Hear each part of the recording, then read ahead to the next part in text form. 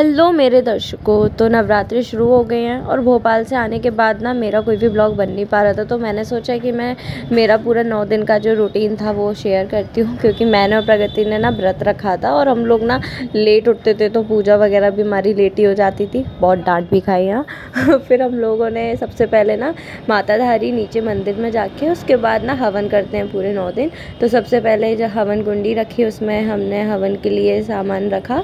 फिर कपूर लगा के उसमें हमने अग्नि प्रज्वलित की। उसके बाद फिर हमने घी डाल के उसको शुद्ध किया और उसके बाद फिर हमने हवन करना शुरू कर दिया।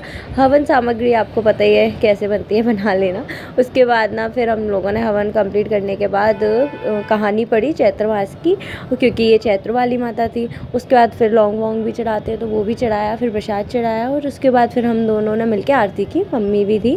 फिर हम लोग ना हर नवरात्रे पीछे ताई के यहाँ भी जाते हैं तो फिर हम लोग ताई के भी गए और वहाँ पर जाके भी सेम हमने वहाँ पर पूजा किया। हवन नहीं करते, हवन एक जगह ही करते हैं। माला वाला पहना के आरती वगैरह की। पहले प्रगति ने पूरी तैयारियाँ कर दी, जब तक मैं ताई और दीक्षाई और दादी से मिल ली और दादी वहीं चली गई थी आज।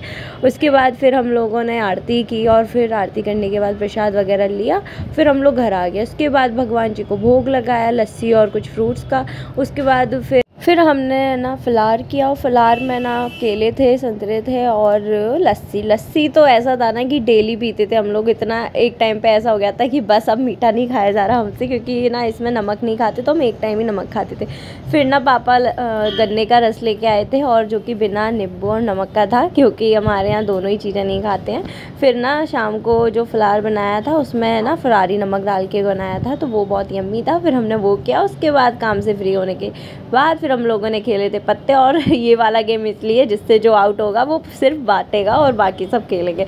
तो ये यही ब्लॉग ख़त्म करती हूँ मैं। नेक्स्ट ब्लॉग में हम कन्या भोज देखेंगे। बाय